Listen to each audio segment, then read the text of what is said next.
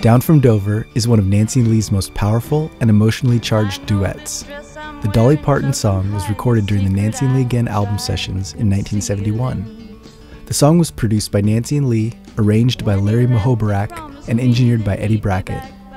The session was held at Poppy Recording Studios in Los Angeles, California.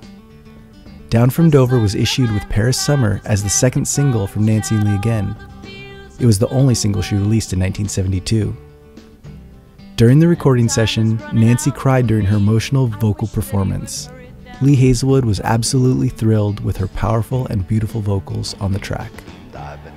The song features a 40 piece band with a great funky groove provided by Hal Blaine and a catchy Coral electric sitar hook.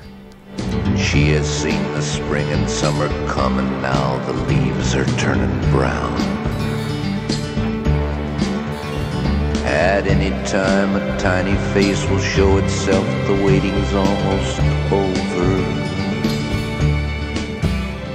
But she won't have a name to give it if I don't hurry down from Dover.